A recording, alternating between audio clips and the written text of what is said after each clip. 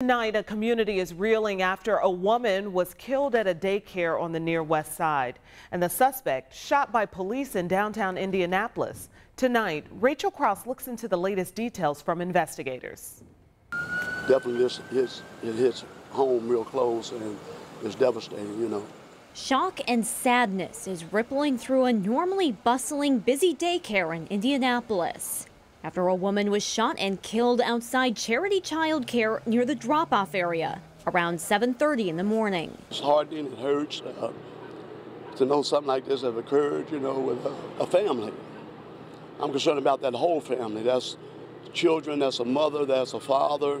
Uh, uh, uh there's an attack upon our families. Our condolences go out to the victim's family the children and employees that have been impacted by this senseless act of violence that occurred this morning. This is something that they will live with for the rest of their lives. The victim has not yet been identified. Investigators say they believe this shooting was domestic related and that the suspect and the victim knew each other.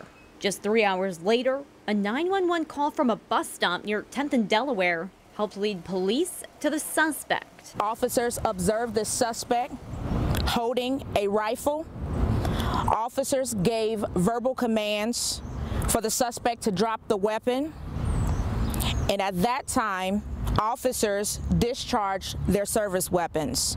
Police have identified the suspect as 33-year-old Orlando Mitchell.